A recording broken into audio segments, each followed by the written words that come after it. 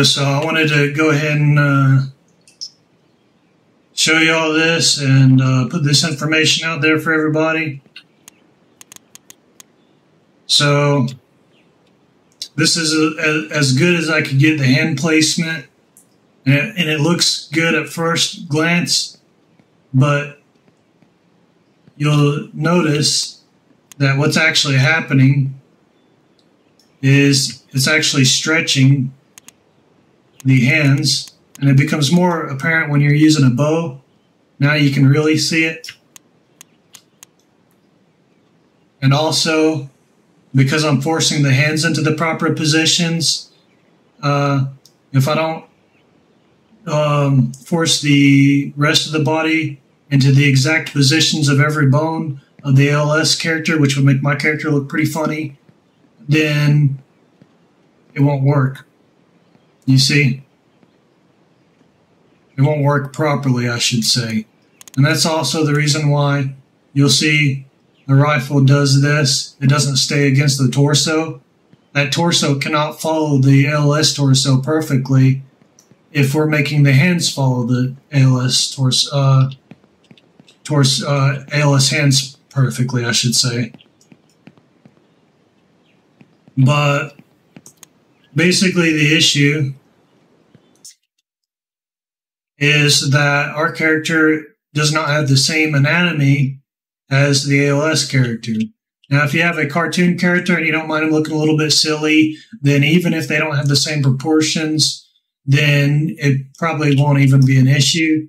For example, Synty characters uh, seem to work fine with this. Uh, human uh, characters that are anatomically correct will not look fine with this.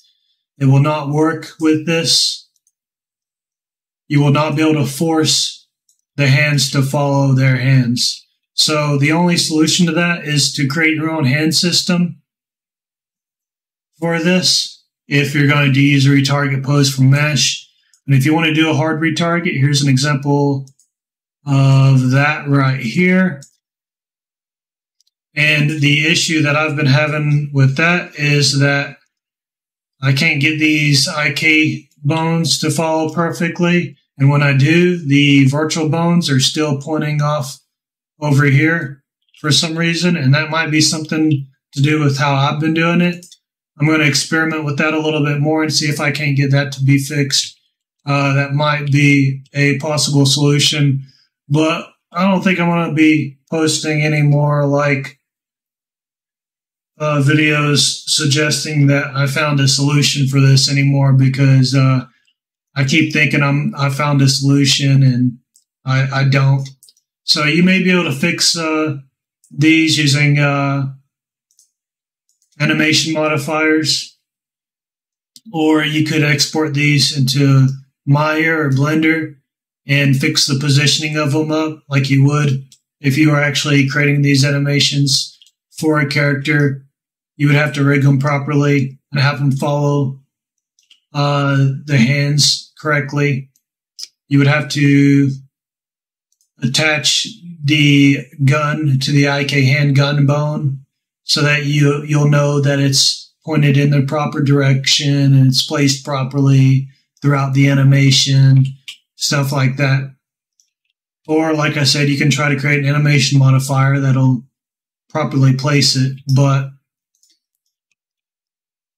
other than that, guys, I don't know what to tell you. Uh, so, yeah, I don't think the IK uh, uh, rig system is going to work uh, for that. It's not going to allow us to just plug and play. You're going to have to redo the hand placement system at least, at the very least. And more than likely, you're going to have to replace the IK uh, foot system with a control rig for your character that runs on your characters. Uh, and let me just go ahead and show you that as well.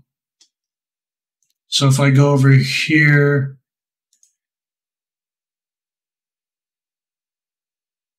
let's see.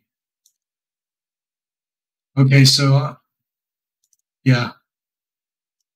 So you would put the control rig right here and you would put the hand placement system right here as well, right after the retarget pose from mesh.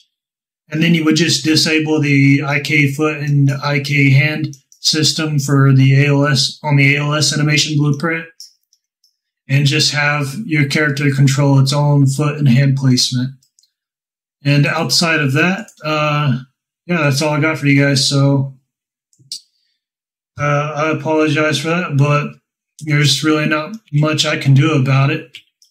It, it boils down to body proportions. You can try to get create your characters to have the exact body proportions. And when I say body proportions, I mean the length of the upper arm, the length of the lower arm, the length of the hand, uh, the length of the fingers, the length of the thigh, the calf, the foot, all those, maybe not the feet, but the calf and the thigh and the arms and the hand and the spine where the shoulder rests on your character needs to be where the shoulder rests on theirs and the head as well. If you want your character to be able to follow these animations exactly, then that's what you would need.